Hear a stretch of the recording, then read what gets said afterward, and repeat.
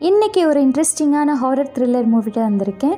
ஹீரோவும் அவர் opposite team சேர்ந்த இன்னொரு டிடெக்டிவும் போட்டி போட்டுட்டு ஒரு கேஸை சால்வ் பண்ண நினைக்கிறாங்க.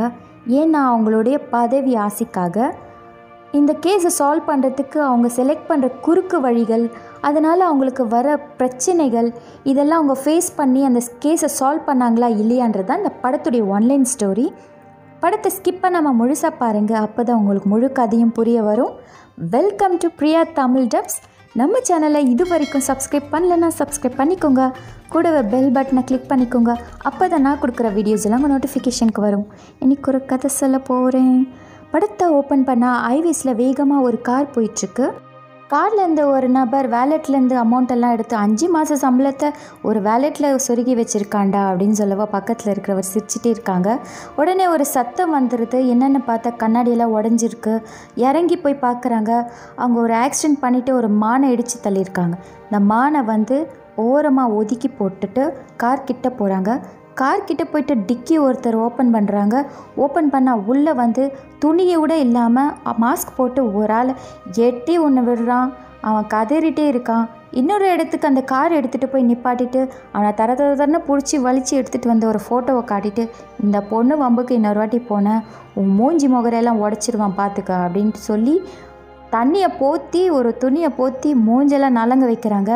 அவருக்கு சில்லறையாக தெரிக்குது. அந்தளவுக்கு நலங்க வச்சுட்டு கன் பாயிண்டில் மிரட்டுறான் உன்னை காலி ஆகிடுவேன் இதோட நிப்பாட்டிக்கோ உன்னுடைய கதையெல்லாம் அப்படின்னு சொல்லிட்டு ஒரு பள்ளத்தில் தள்ளிட்டு அவங்க ரெண்டு பேரும் விலகி வந்துடுறாங்க.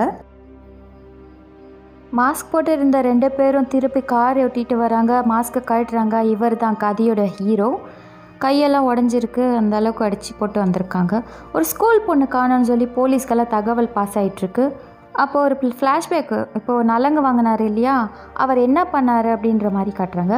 ஒரு பார் லேடியை போட்டு சமத்தியாக விளாசுறாரு அந்த பார் லேடி சொல்லி தான் அந்த போலீஸ்காரர் வந்து அவனை போட்டு சில்லறையாக தெறிக்க விட்டுருக்காரு. அதுக்கப்புறமா இவங்க ரெண்டு பேருக்கும் ஒரு சின்ன அண்டர்ஸ்டாண்டிங் இருக்குது போல். அதனால தான் இதெல்லாம் செஞ்சுருக்காங்க. ஒரு இடத்த காட்டுறாங்க. அந்த இடத்துல சில விஷயங்கள் ஏதோ தேடிட்டுருக்காங்க. அப்போ ஹீரோவும் அவர் அசிஸ்டண்ட்டும் அங்கே போயிட்டு அங்கே என்ன நடக்குதுன்னு விசாரிச்சுட்ருக்காரு இவர் ஆப்போசிட் டீமில் இருக்கிற இன்னொரு டிடெக்டிவ் தான் இந்த கேஸ் ஹேண்டில் பண்ணுறாரு ஒரு ஸ்கூல் பொண்ணு காணும். அவங்க கை காலெல்லாம் கிடச்சிருக்கு தலை கிடைக்கல. அதை தான் தேடிட்டு இருக்காங்க அந்த தலை ஒரு இடத்துல இருக்குன்னு சொல்லி கத்துறாங்க. ஸோ அந்த பொண்ணு தானான்னு சொல்லி இங்கே வந்து பார்க்குறாங்க அந்த பொண்ணுன்னு கன்ஃபார்ம் ஆகிடுச்சு அடுத்து மார்ச்சுரியில் அந்த டெட் பாடியை வச்சு பார்க்குறாங்க பாடி எல்லாம் அங்கங்கே செதஞ்சி கட் பண்ணியிருக்கு. சித்திரவதை பண்ணியிருக்காங்க ப்ரூட்டலாக ஆனால் வந்து ரேப் பண்ணலன்னு சொல்லி ரிப்போர்ட் கொடுக்குறாங்க. ஆனால் இவங்களுக்கு ஃபுல் ரிப்போர்ட் எப்போ வரும்னா அட்டாப்சி ஃபுல்லாக பண்ணிட்ட பிறகு தான் வரும்னு சொல்லி இந்த டாக்டர் சொல்கிறாங்க இந்த டாக்டர் மார்ச்சரி டாக்டர் தான் நம்மளோட ஹீரோவுடைய எக்ஸ் ஒய்ஃப் இவங்க ரெண்டு பேரும் பிரிஞ்சிருக்காங்க. டைவர்ஸ் பேப்பரில் எப்போ சைன் பண்ணுற அப்படின்னு கேட்குறாங்க வெளியில் வந்துட்டு அதான் பிரிஞ்சிருக்கோமே. அதுக்கப்புறம் என்ன உங்களுக்கு பேப்பரெல்லாம் தேவைப்படுது? நான் கிளம்புறேன் அப்படின்னு கிளம்பி வந்துடுறாரு. அடுத்து அவங்கள ஸ்டேஷனில் காட்டுறாங்க. ஸ்டேஷனில் இருக்க ஹெட்டு வந்து லெஃப்ட்டு ரைட்டு வாங்கிட்டுருக்காரு இத்தனை நாள் என்ன பண்ணிகிட்ருக்கீங்க எல்லாரும் என்னை கொலையாக கொண்டுட்ருக்காங்க பெரிய இடத்துலேருந்து ப்ரெஷராக இருக்குது அப்படின்ற மாதிரி. அது ஸ்கூல் பொண்ணு காணாமல் போனதுனால பப்ளிக்கெல்லாம் ரொம்பவே ஃபோர்ஸாக இருக்காங்க. ப்ரெஸ் எல்லாம் போட்டு கிழிச்சிட்ருக்காங்கன்ற மாதிரி கத்திட்ருக்காங்க இந்த கேஸ் ஹேண்டில் பண்ணுறது டீம் நம்பர் டூவில் இருக்குது இவர் name Junga. Team number two வந்து இவருடையது டீம் நம்பர் ஒன் ஹீரோவோடையது. எங்கள் ரெண்டு டீமும் சேர்ந்து ஒன்றா பாருங்க வேலையை அப்படின்னு எட்டு சொல்லிட்டு போகிறாரு இதுக்கு வந்து இவர் ஆமோதிக்கிறாரு. பதினேழு நாளாக நீ என்ன கிழிச்சிட்ருக்க ஸோ ரெண்டு பேரும் சேர்ந்து ஒன்றா பாருங்க வேலையை அப்போ தான் சீக்கிரமாக முடியும் மினிஸ்ட்ரியிலேருந்து ப்ரெஷராக இருக்குன்னு சொல்லிட்டு உள்ளே போயிடுறாரு. உள்ளே போய் நம்ம ஹீரோ என்ன ஏன் இந்த முடிவு அப்படின்னு கேட்கும்போது சீக்கிரமாகவே கேஸை சால்வ் பண்ணிவிட்டு என்னுடைய சீட்டுக்கு நீ வரணும் அப்படின்ற மாதிரி ஹெட்டு சொல்கிறாங்க அதுக்கடுத்து இன்னொரு ஆள் வந்து ஜுங்கா கிட்ட பேசிகிட்டு இருக்காங்க. நீ தான் இந்த கேஸை சால்வ் பண்ணி ப்ரொமோஷன் வாங்கிட்டு அந்த சீட்டுக்கு வரணும் அப்படின்ற மாதிரி பேசிகிட்டு இருக்காங்க. பேசிகிட்டு இருக்கும்போது இந்த கேஸ் வந்து ஹீரோ கிட்டே போயிடுச்சு. அதனால் அவர் கடைசியாக ஒரு ஆளை வந்து விசாரிக்கவே இல்லை. அதுக்காக ஒரு சர்ச்சுக்கு போயிட்டு அந்த ஆளை வந்து விசாரிக்கிறதுக்கு வெயிட் பண்ணிகிட்ருக்கும்போது ஒரு ஆள் சந்தேகப்படுற மாதிரி உள்ளே வரான். அவன் உள்ளே வந்து ஹீரோவை பார்த்துட்டு செதறி அடிச்சுட்டு ஓடுறான். ஹீரோவை துரத்தி பிடிச்சிடுறாங்க. பிடிச்சிட்டு அவன் வாய்க்குள்ளே ஒரு ஃபோட்டோவை திணிக்க பார்க்குறான். ஒரு இடத்துக்குள்ளே போயிட்டு ஒரு ரூம்குள்ளே போயிட்டு. அந்த ரூம்குள்ளே போயிட்டு ஃபோட்டோ எடுக்கும்போது வயிற்றுல ஒரு குத்து குத்தி அந்த ஃபோட்டோ யார் என்ன ஏதுன்னு எல்லா டீட்டெயில்ஸும் எடுத்துடுறாங்க. கஸ்டடியில் வச்சு விசாரிச்சுட்ருக்காங்க அவன் வீட்டுக்குள்ளேருந்து சில பல துணிகள் உள்ளாடை பெண்களுடைய உள்ளாடையெல்லாம் எடுத்துகிட்டு வந்து ப்ரூஃபாக கலெக்ட் பண்ணி ஹெட்டுக்கிட்ட கொடுக்குறாங்க. உள்ளே விசாரிச்சிருக்கும் போது அவன் எதுவுமே வாய் திறக்கலான்ட்டு இவனோட பழைய கேஸ் ஒன்று இருக்கும். ஒரு பொண்ணு வந்து இவனால் சூசைட் பண்ணி இறந்து போயிருக்கும். அவங்க அம்மா பைத்தியமாக இருப்பாங்க அவங்க அப்பா கேன்சர் பேஷண்ட் அப்படின்ற விஷயத்தெல்லாம் சொல்லி இவனுடைய எமோஷனலை தூண்டி இவன் அழுகுறான் கதறான் நான் தான் கொலைகாரன் நான் தான் கொலை பண்ணேன் அப்படின்ற மாதிரி அந்த பழைய கேஸை வந்து இவன் சொல்கிறான் இவன் வெளியில் இருக்கிறவங்கெல்லாம் இந்த டீனேஜ் பொண்ணுடைய கேஸ் தான் அது இவன் தான் கொலைகாரன் அப்படின்ற மாதிரி எடுத்துப்பாங்க.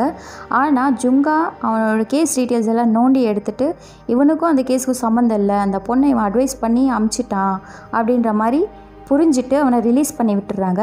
செத்து போன பொண்ணோட அப்பா இவனை சாவடிக்கணும் பழி வாங்கணும்னு சொல்லிட்டு வெயிட் பண்ணிகிட்ருக்காரு காரில் ஸோ ஏன் ரிலீஸ் பண்ண அப்படின்னு கத்திட்டே வராரு.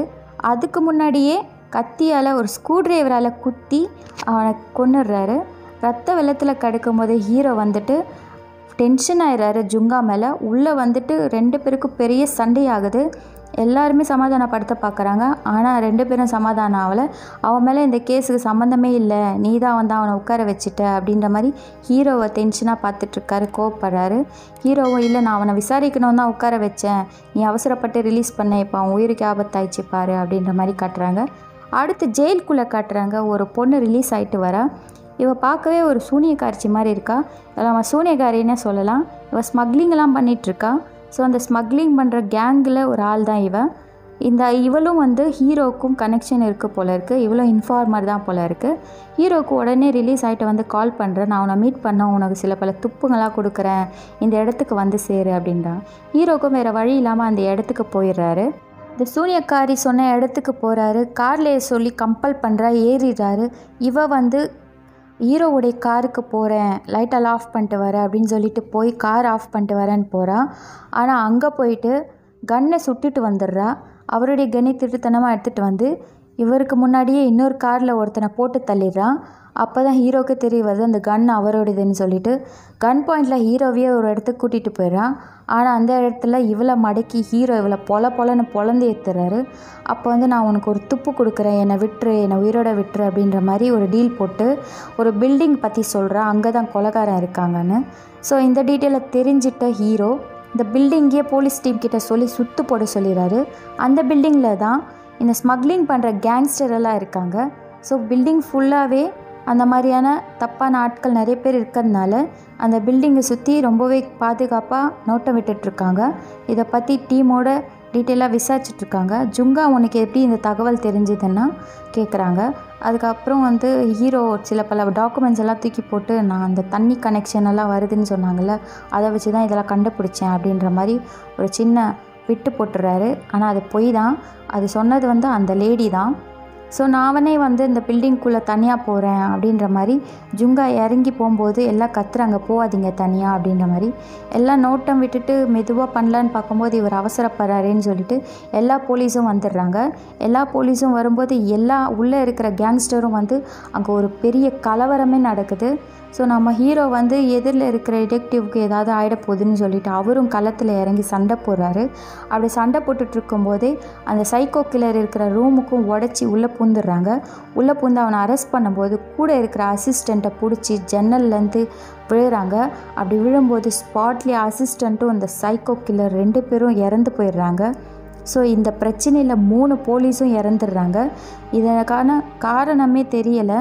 அங்கே துப்பு எதுவுமே கிடைக்கல ப்ரூஃப் எதுவுமே கிடைக்கல. ஆனால் ஒரு சின்ன பைப் வழியாக ஒரு ரூம்குள்ளே தண்ணி போயிட்டுருக்கும். அந்த ரூம்குள்ளே என்ன நடக்குதுன்னு சொல்லி உடச்சி உள்ளே போய் பார்த்தா கசாப்பு கடை மாதிரி அங்கங்கே ரத்தம் தெரிச்சிட்ருக்கும் பெண்களுடைய முடி அவங்களுடைய நகங்கள் அந்த மாதிரியெல்லாம் சித்திரவதை பண்ண மாதிரி அடையாளத்துக்கான நிறைய பொருட்கள் அங்கே கிடைக்கும். சில பல ரெக்கார்டிங் டேப்பெல்லாம் கூட கிடைக்கும். அவங்க கத்துனது கதறினது எல்லாமே டேப் பண்ணி எழுதி வச்சுருக்காங்க. அந்த பில்டிங்லேயே பிரச்சனை நடக்கும்போது சில பல போதை மருந்தெல்லாம் வந்து சீஸ் பண்ணியிருப்பாங்க போலீஸ்காரங்க.